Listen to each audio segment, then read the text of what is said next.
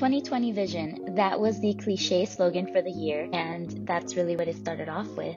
Vision to grow this God given dream into what I aspire for it to be, what God has called it to be. Vision to make goals, set milestones, revisit my vision board, reach those milestones, put on there exactly what I envisioned for I Am Threads within the year, social media to grow organically, to build relationships with our Threads babes, to make connections, to accomplish organic reach, to continue being grateful, being thankful, and just pushing on. It was supposed to be all about continuing to attend pop up shops, collaborating with other individuals, collaborating with other businesses, and most of all, being financially stable, being financially responsible, and being financially aligned with my goals.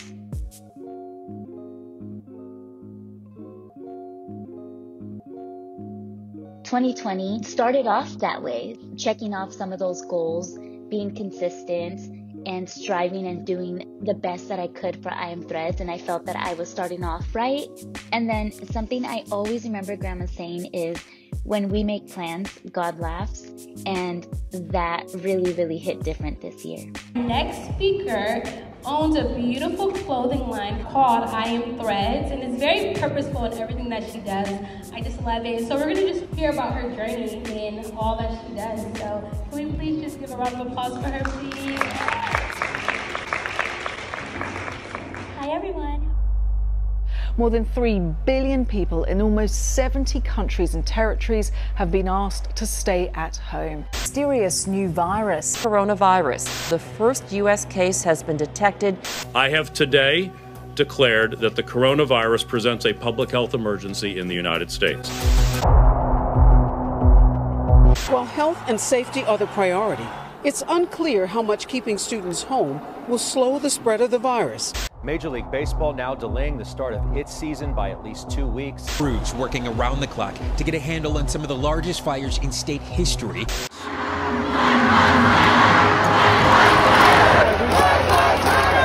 On Street dining area opened last night. The city has closed off curbside lanes along parts of Colorado Boulevard to let restaurants expand their seating capacity. For many, young and old, 2020 will be the toughest year of our lives. If that last part isn't true, I don't know what is. Personally speaking, 2020 was definitely a very tough year, but although it was so tough, I am also very grateful for it because I've learned through it and I feel like I have grown through it. Naturally, surviving a pandemic was not on my goal list, it was not on my to do list.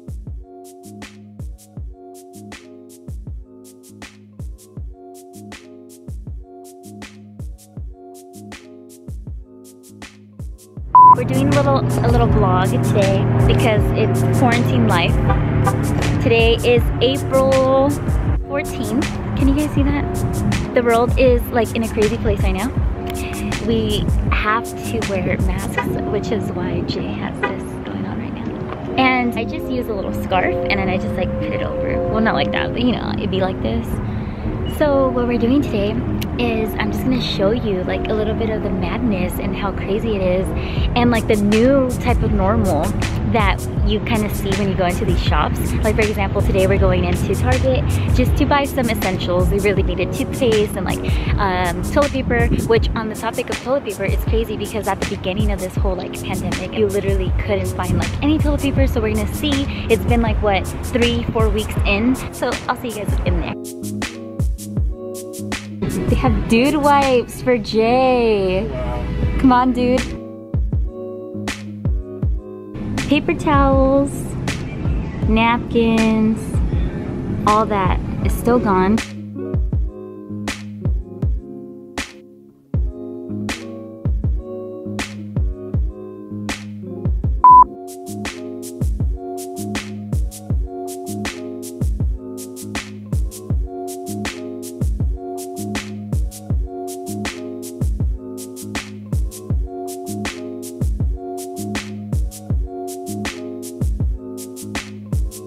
This is I Am Thread's favorite song. It's the theme song.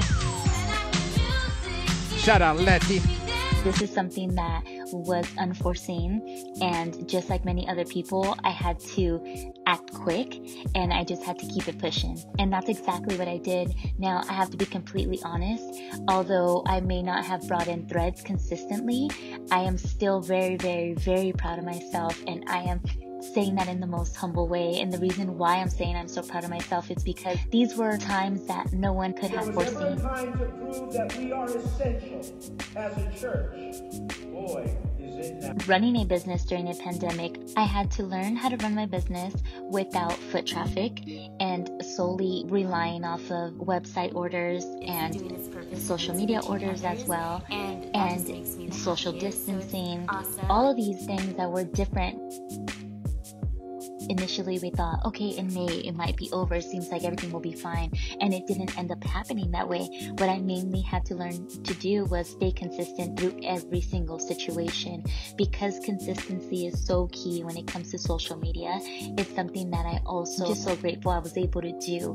Thankfully, orders that were coming in and pictures that were being sent in as well allowed me to stay consistent. It gave me content to post something that I really learned throughout this whole pandemic was that God has truly blessed me with the best Threads community. You know, sometimes I feel like I may have X amount of followers or whatever it may be, but at this time is really when people showed their support, where people really showed a sense of community and everyone uh, was supporting and purchasing during a time that I possibly thought that people wouldn't be purchasing things because they wanted to save their money because we couldn't foresee what was going to happen in the future.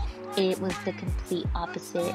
I had an overflow of, of orders coming in and I was so grateful at the time and I still am thinking about it.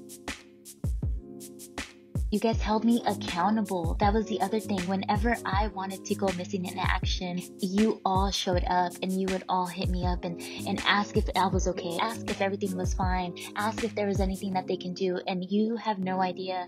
That really, really meant the world. And I felt like that was maybe God compelling you to check up on me and, and Him showing me, like, look, this is what I have blessed you with. I've blessed you with not just people who are just following you, no, they're a community. And so I'm just so so thankful for that. This is a God given dream, and I have known from the jump that if God gave me this idea, if God gave me this dream, I know He just won't leave me. I know He has His hand in this. I just pray that you continue to ride with us along this journey, and thank you so much.